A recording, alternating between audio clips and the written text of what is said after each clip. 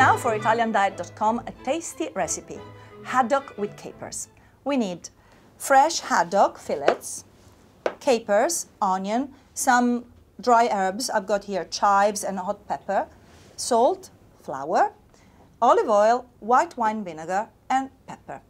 Remember to turn on your oven to about 400 degrees, and then you're going to put some olive oil into your casserole dish.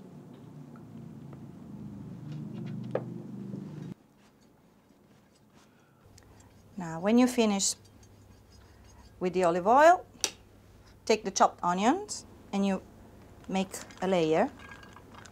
And then you're going to flour your haddock and you're going to place it on top of the onions. And then the capers, just on top of the fillets, some chive, salt,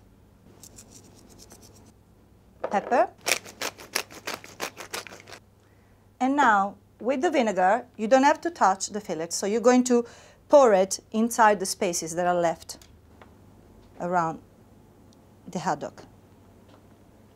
Although it is possible to recognize some organoleptic differences between fresh fish from the deep frozen fish, the nutritional aspects are very similar.